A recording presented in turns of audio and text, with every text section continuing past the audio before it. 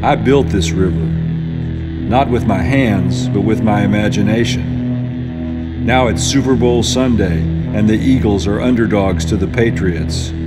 So practice the patience that you learned from the sedge, unchanged for millennia, because it made a deal with the waiting birds to write their sacred names with cloudbursts on moving water.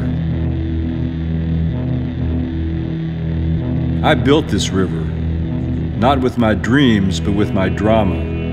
Though now I feel it ebbing, drying up, and cracking like a mudman's mask. I built this river with my karma, just so I would have a park bench to sit on when I had no other place to go.